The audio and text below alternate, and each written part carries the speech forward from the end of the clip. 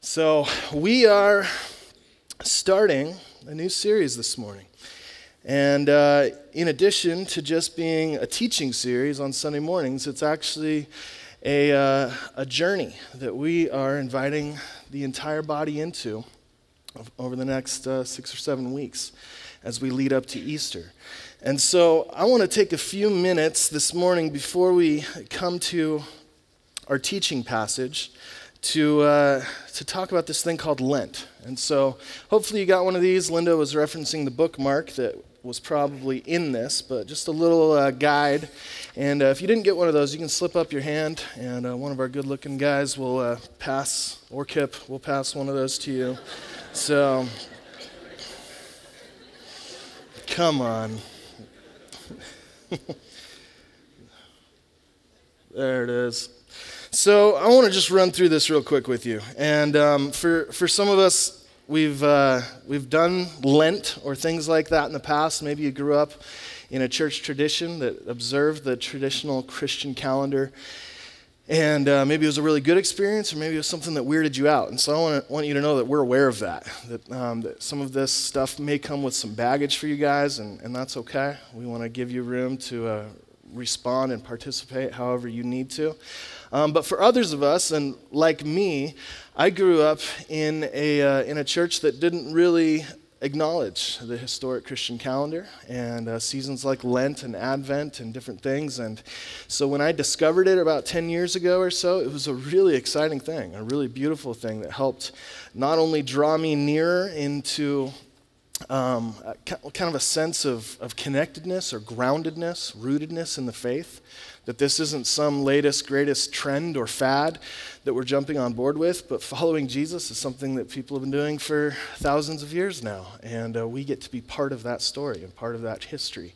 And so, um, so Lent, if you don't know, number one, is a six week season in the Christian calendar prior to Easter. So uh, Lent compromises, uh, really the comprises of the 40, no, it doesn't compromise. Um, it's comprised of the 40 days leading up to Easter. Now the math's a little funky. It actually, uh, on the calendar, it started this last Wednesday, Ash Wednesday. Maybe you saw people going around with that stuff going on. Um, we're kind of beginning today with, uh, with the first Sunday of Lent. And if you kind of do the math up until April 5th, which is Easter, Lent actually doesn't include Sundays. And so the idea is that it's Monday through Saturday for those weeks leading up to Easter. Sunday is a mini Easter every week. In fact, all year long. That's why we worship on Sunday. It's a mini celebration, remembrance of Christ's resurrection. And so um, it's been going on for a long time, this thing Lent. And some of us may feel like maybe it's like a Catholic thing or something that we as Protestants don't engage. Lent was actually first formally discussed at the Council of Nicaea in the year 325. Okay? So, way, way back. And that's the formal discussion. Christ's followers had already been practicing a season of prayer and fasting in preparation for Easter way before that. So, 325, this is not a Catholic thing, this is a Christian thing, and always has been. Just by way of context, the doctrine of the Trinity was also developed at the Council of Nicaea in 325. Okay, so not some weird trend that developed later when things got strange in church history, but this was from the very, very beginnings of the Christian faith, something that Christ followers participated in and found it helpful. So, um, next, Lent's a time for spiritual growth. And so in the ancient church, Lent was a season for new Christians to be instructed for baptism and for believers caught in sin to focus on repentance. In time, Christians came to see Lent as a time to be reminded of their need for self examination. And so it's, it's the idea that we are creating space for God, that we are setting aside these 40 or so days to ask God to examine our hearts, to form the character and life of Christ in us more fully we are setting aside time to be spiritual, di- spiritually disciplined. Because the reality is, spiritual growth requires spiritual discipline. It's not something that just happens to us and we're kind of passive observers of it, but God invites us to partner with His Spirit in our own sanctification, in our own formation. He invites us through disciplines like Linda talked about, scripture, and over the next few weeks, you'll hear about prayer and solitude and other things like that. Active engagement in the formation of our own hearts and souls for God. And so, this is a season that may look different in how we all engage, but the invitation at the basic level is would you set apart these 40 days to create space and to partner with the Spirit in taking responsibility for your own faith and asking God to change you, to shape you, to help you uh, become more and more of the person that He's called and created you to be. Okay? Next is it's a time to create space for God through fasting. And so um, we're going to talk this morning about a passage in Matthew 4 where Jesus goes out into the wilderness, led by the Holy Spirit, to be tempted by the devil for 40 days. And it was 40 days of fasting where he was essentially consecrating himself uh, to the Father. And Lent is re- really based on that season that Jesus uh, embarked in, and it's an invitation for us to identify with Christ in that. And so, um, kind of the tradition and thing that if you don't know anything about Lent, you know this is that it's typically a season of fasting. And in the Bible, when it talks about fasting, it's always referring to food.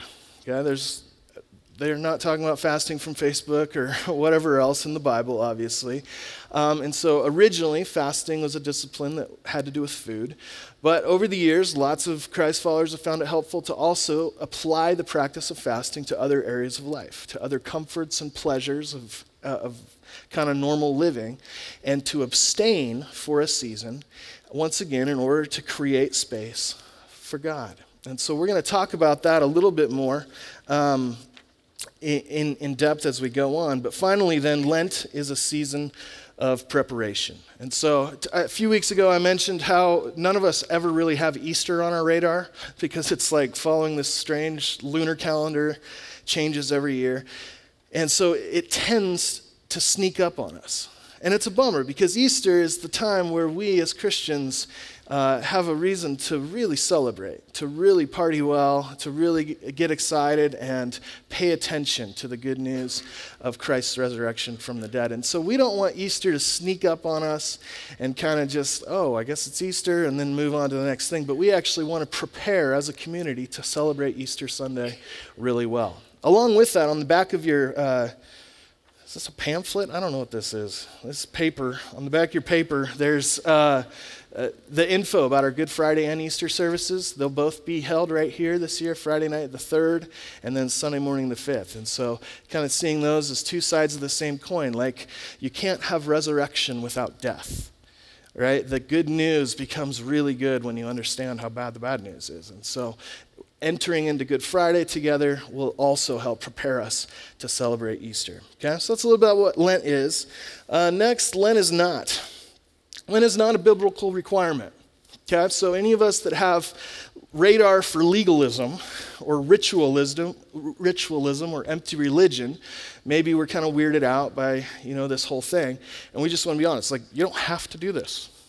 You don't have to. There's no judgment if you, for whatever reason, choose to abstain from abstaining. Um, choose to fast from fasting. That's fine, but. Um, but, but it's a cool thing. It's a great invitation. And again, it's rooted in church history. And um, I would say for me personally, it's been one of the most meaningful practices in the formation of my own faith and love um, over the last 10 years. I, I love this season, and I'm excited to, to invite you into it. But you don't have to do it. So that's, uh, that's all I'll say about that. And then finally, on the, in that note, too, Lent is not a way that we can earn more of God's love and grace. Okay? So some of us think about doing something like this that's not a biblical requirement and go, well, it must be legalistic. It must be something that uh, says if we do this, then God will love us more.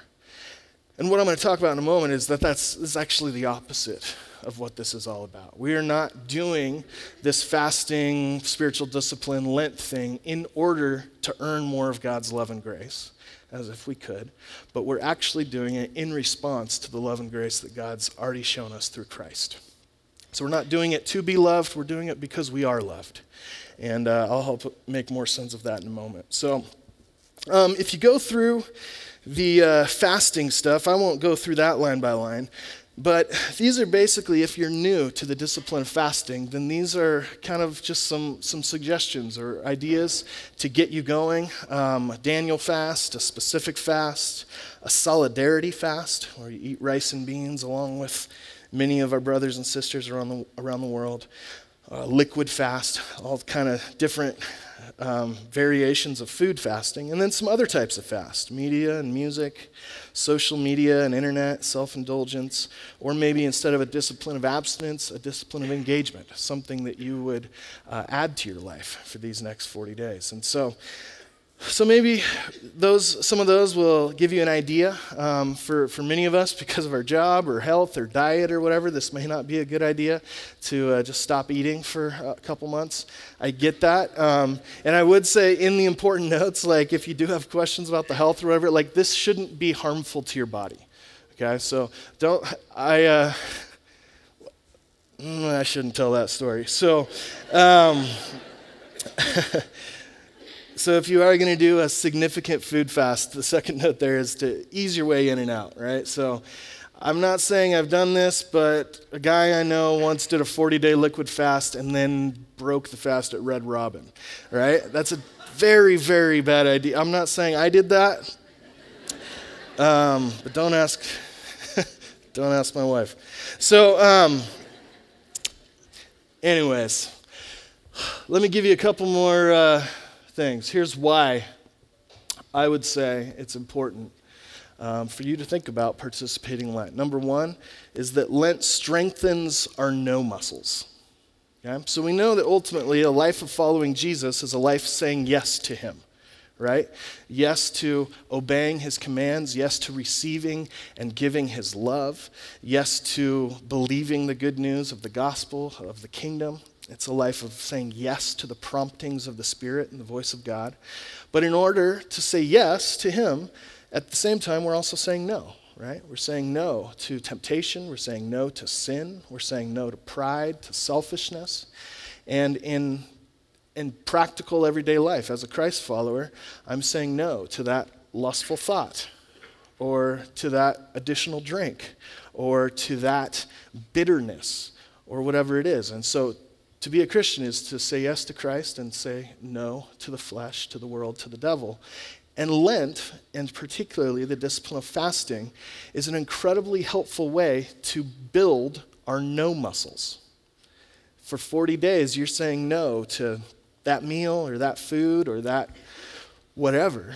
And you'll find that at the end of the 40 days, your no muscle, if you will, is much stronger, right? That that impulse to say yes to Christ and no to uh, sin is you're, you're, doing pretty well in that sense. And that's honor, honoring and glorifying to Him. And so I find it incredibly helpful.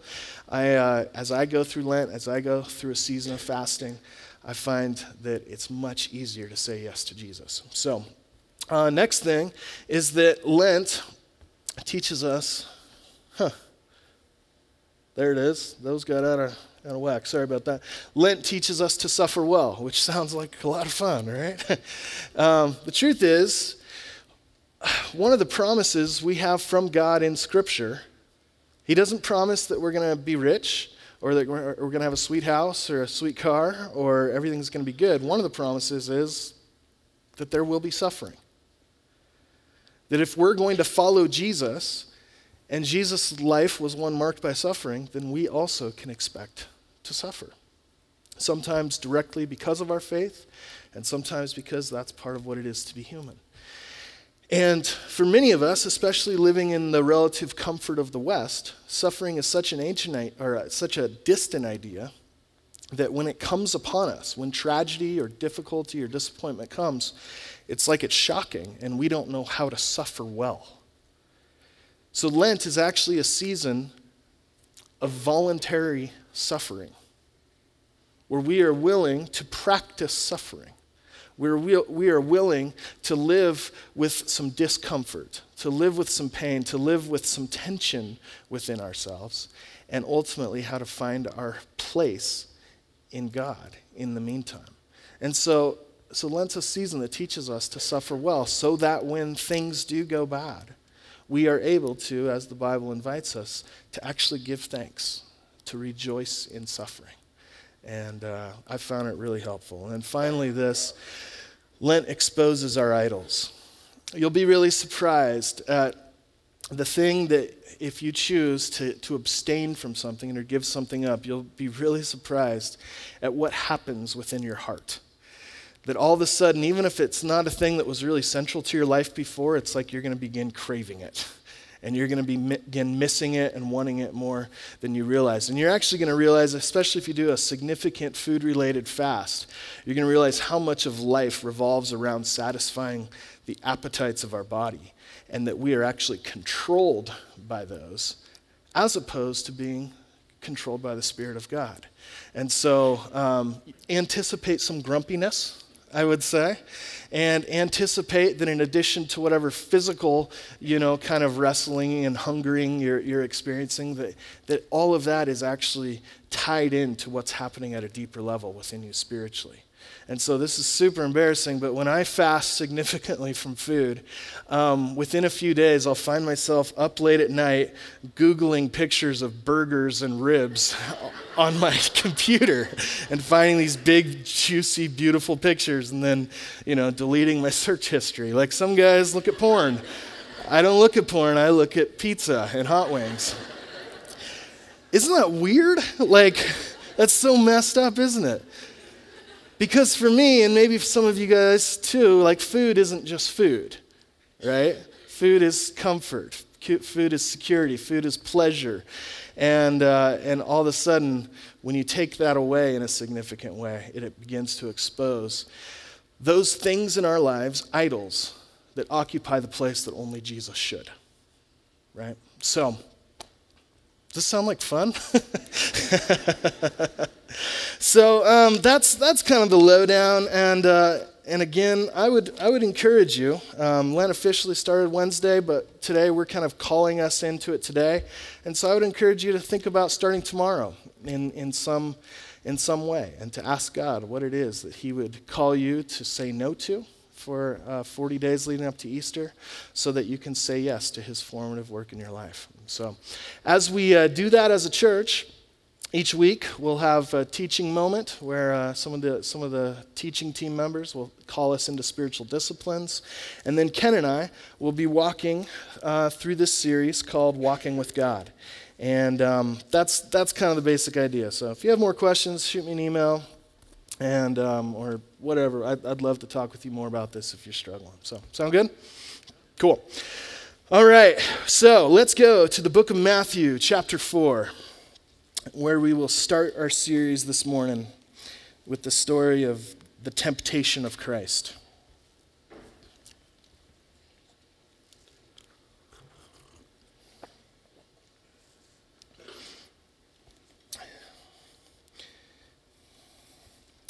And I just I want to read the first 11 verses. Familiar story, but if you haven't noticed, I like to read large chunks of scripture. That way, if the sermon sucks, at least you still hear from God. So, Matthew 4 1 Then Jesus was led by the Spirit into the wilderness to be tempted by the devil. After fasting 40 days and 40 nights, he was hungry. It's not sarcasm. He actually was, surprisingly. The tempter came to him and said, If you are the Son of God, tell these stones to become bread. Jesus answered, It is written, Man shall not live on bread alone, but on every word that comes from the mouth of God. Then the devil took him to the holy city and had him stand on the highest point of the temple. If you are the Son of God, he said, throw yourself down, for it is written, He will command His angels concerning you and they will lift up their hands so that you will not strike your foot against a stone. Jesus answered him, It's also written, Don't put your Lord, the Lord your God to the test.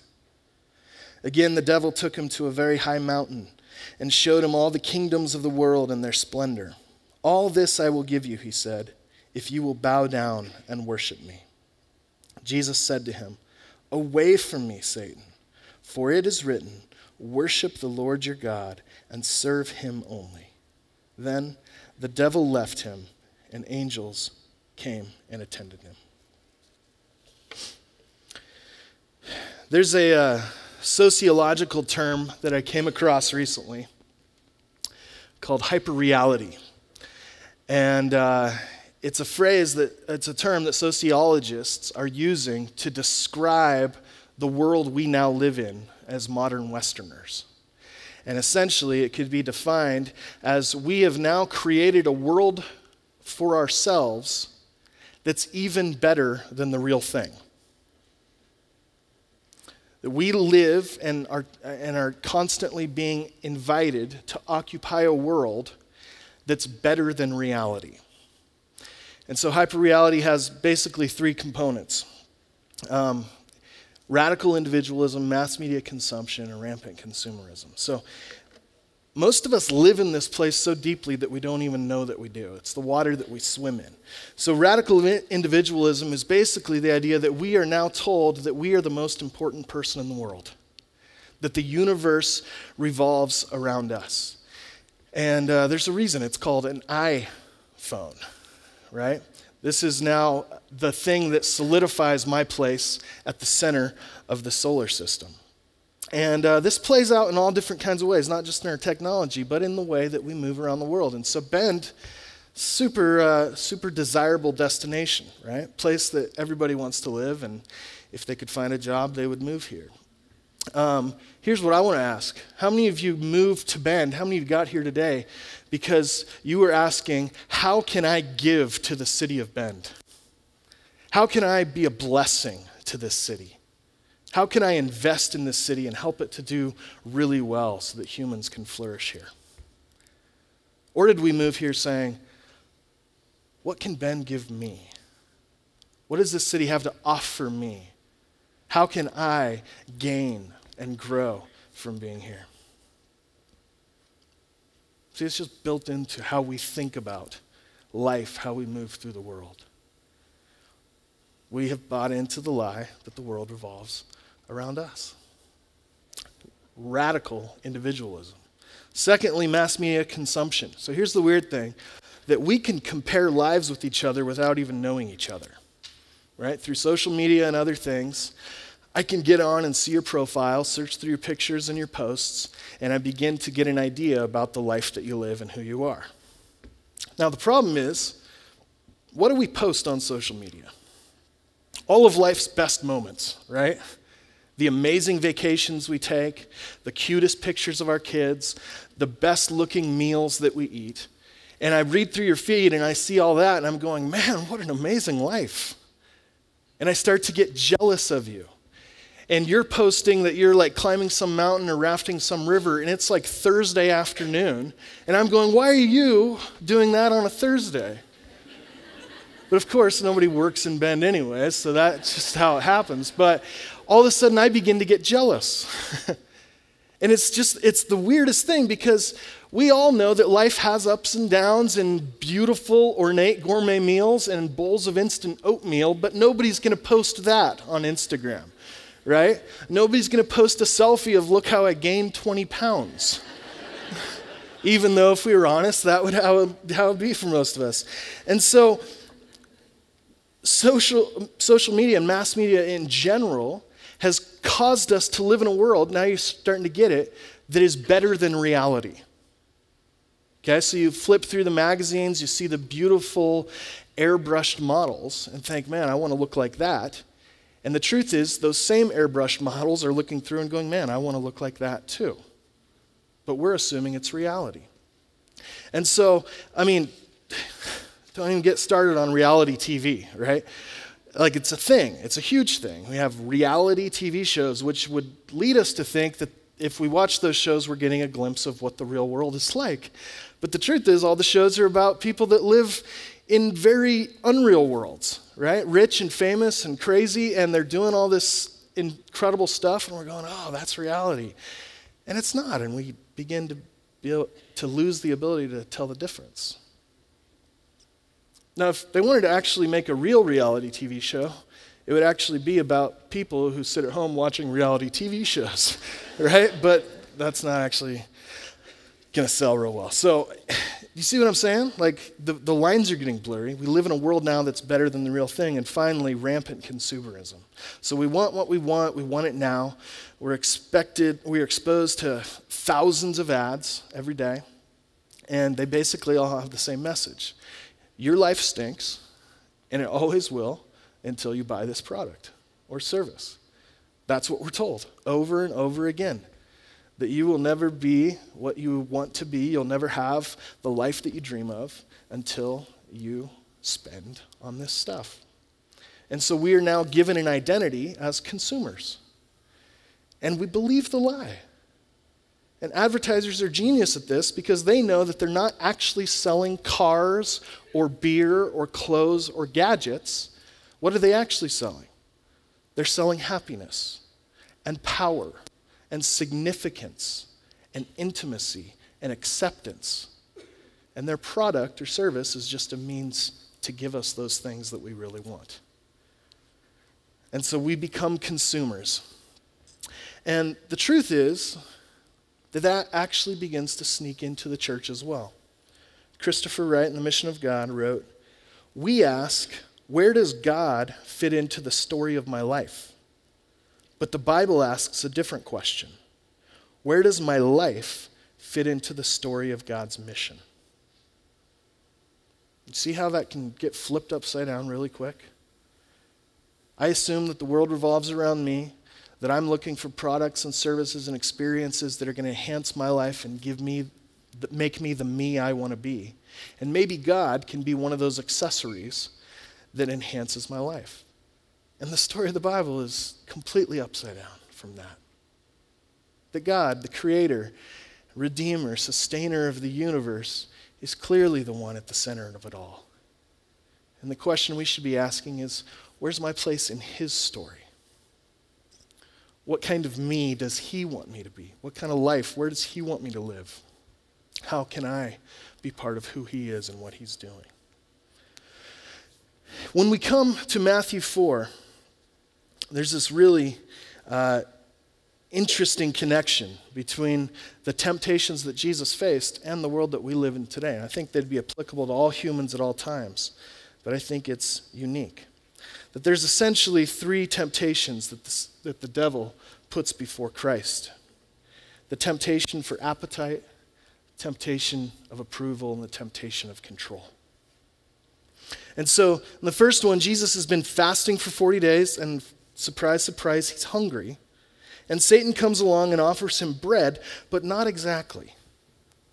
Satan doesn't actually just wave bread in front of Jesus and say, Hey, do you want some? Instead, he suggests that Jesus uses his divine power to remove his hunger, to turn these rocks into loaves. Here's, here's what one author said But Jesus wasn't out in the wilderness for private spiritual experiences. He was out there representing Adam and Israel. He was on a mission as a corporate, as a corporate person, a community. In that reality, Satan sought to lure Jesus, the community, by an appeal to self interest. Take care of your immediate, self focused needs first before accomplishing the mission. Be foremost about self interest and self focus. So all of a sudden, you and I find ourselves in the story. I've never been tempted to do a magic trick and turn rocks into bread. But I am tempted every day to be a self focused, self interested person. And to do whatever I can to satisfy the appetites and the cravings that control me. And what we see in Jesus is that Jesus does what Adam was supposed to do, and Jesus ultimately does what Israel was supposed to do. So we just spent six weeks in lessons from the desert. 40 years, Israel wanders the desert, and now Jesus shows up 40 days in the wilderness. And the whole time we saw Israel out there doubting God denying God, building false gods and idols to worship instead of Him. And so Jesus shows up and not only does what Adam was supposed to do, but he becomes the true picture of Israel, an embodiment of all of God's people, saying no to the devil and yes to the Father. Second temptation is for approval. So pick the most crowded place in the most populated city, the, the focal point of that community's life. And Satan says, I can make you famous. I can make your name great. I can make people want you and want to be around you and want to love you.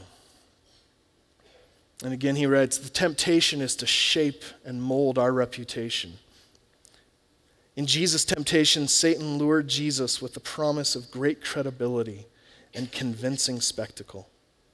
Jesus could have been the most lauded leader in Palestine.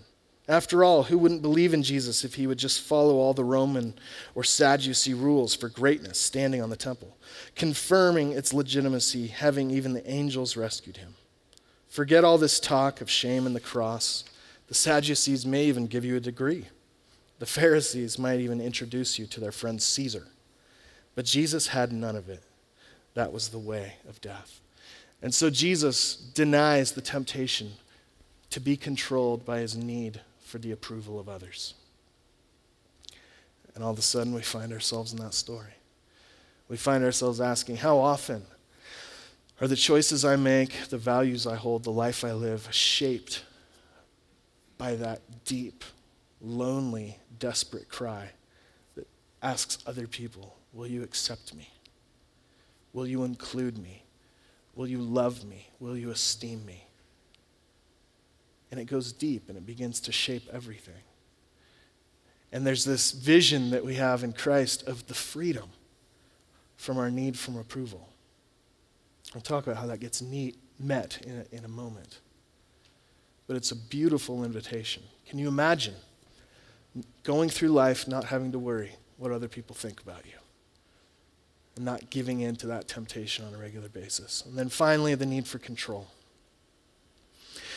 Satan tempts him and says, I'll give you all the kingdoms of the world, in verse 8, if you will bow down and worship me. Jesus is offered by Satan the platform to be the ruler of the world. Now, stop with me for a moment. Why would that be a bad thing for Jesus to rule the world? That actually sounds like a really good thing. Because we know that when Jesus is king, heaven comes to earth. And sick people are made well, and sad people are given hope, and dead people are raised back to life when Jesus is king. And Satan's like, why don't you just do that? You can do whatever you want. You can have power and dominion and control over the entire universe. You can make the world however you want it to be. I'm going, huh? Why wouldn't he do that? Well, the condition attached is if you will bow down and worship me.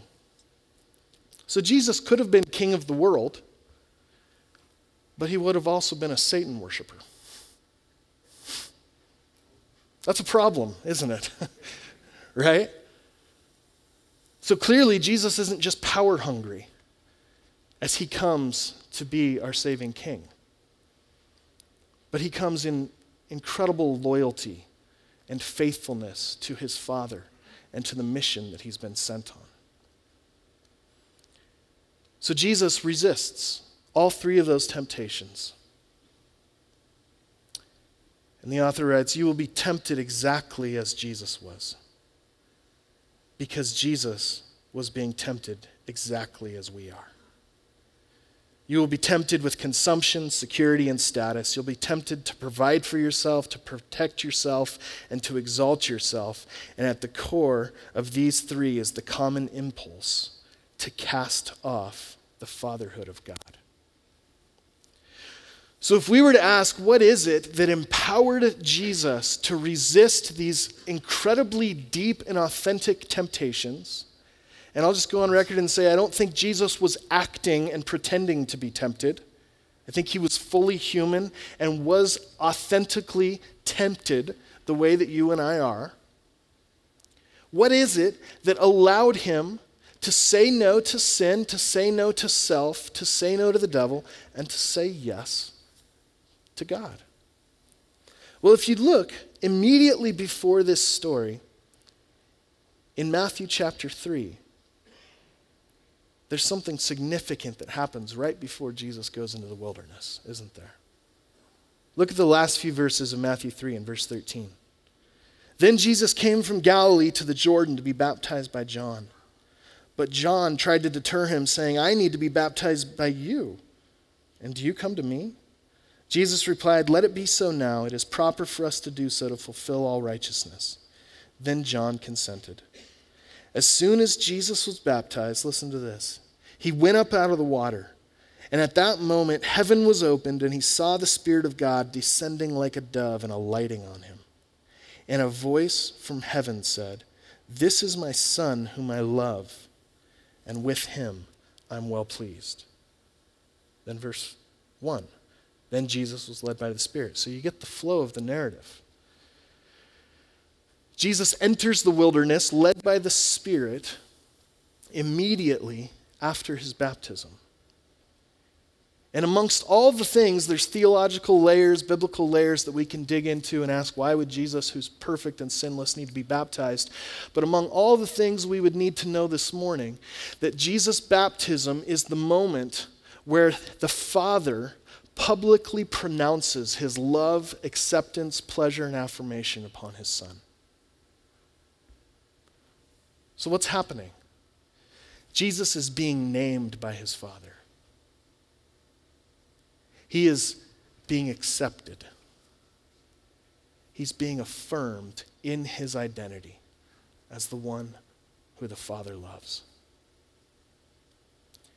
And all of the sudden, if Jesus actually believes the Father's words that I am your son, I am loved, and you are pleased by me, if Jesus were to actually believe that, and then go out into the desert, you see how all of Satan's temptations lose all of their power.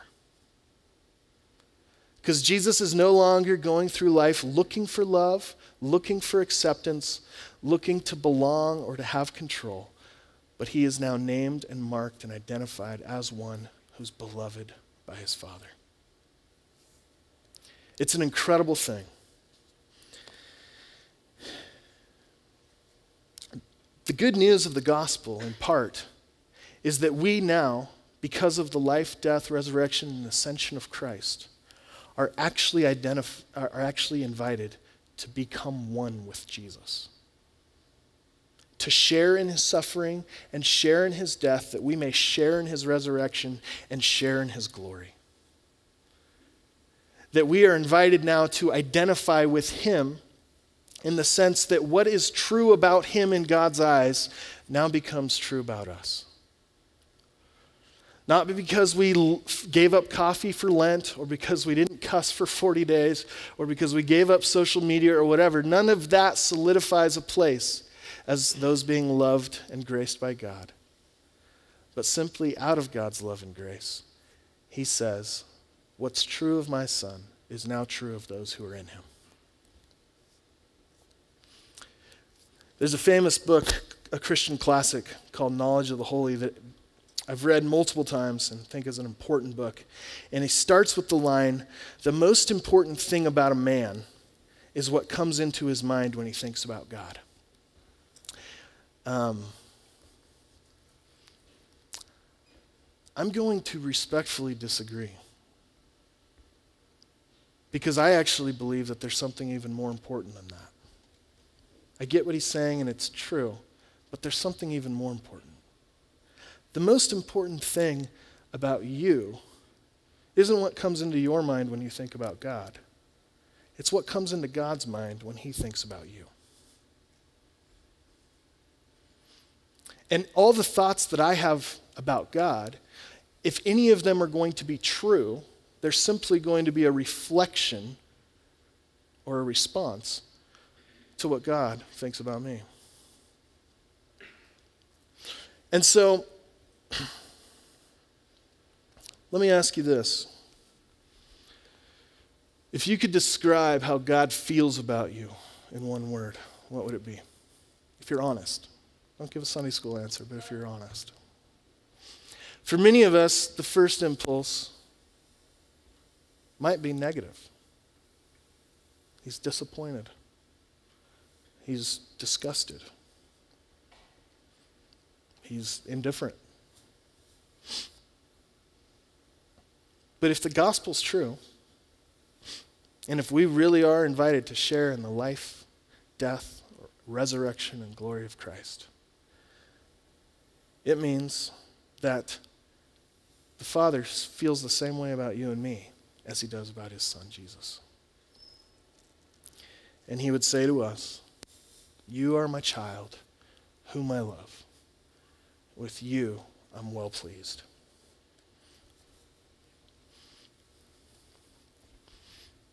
Not, I will be pleased if you behave really well. Not, whom I will love if you do Lent. but you, as you sit there today, with your sketchy past, with your idolatrous heart, with your weak spirit, I love you. Pleased by you. That would change everything if we believed it. And so, beneath this whole story, if we're to look at it as a way of following Jesus into the desert, following Jesus into a season of seeking God's identity, we find that it's really not so much about what you're giving up for Lent, what you're abstaining from, what you're saying no to, but it's learning to live into those words and removing all the stuff that we look to instead of God for that. All the ways we tend to get our needs met, to gain approval, to gain love. God saying, I want to be all of that for you. And so there's incredible freedom that we see in Christ that's now given to us. Will you pray with me?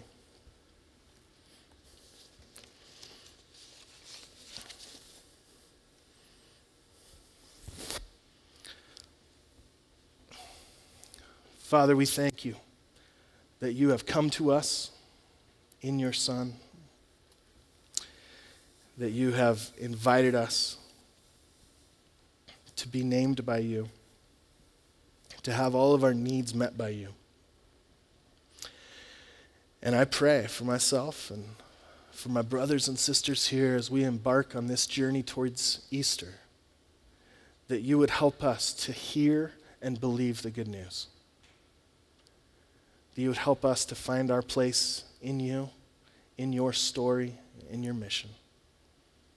And we thank you that you are a good and gentle and faithful and just God, that we can trust our hearts and our lives to you, that as we go through this season and open ourselves up for self examination, for the exposure of our, our idols, we thank you that we can trust you, that you're not going to trap us, that you're not going to hurt us,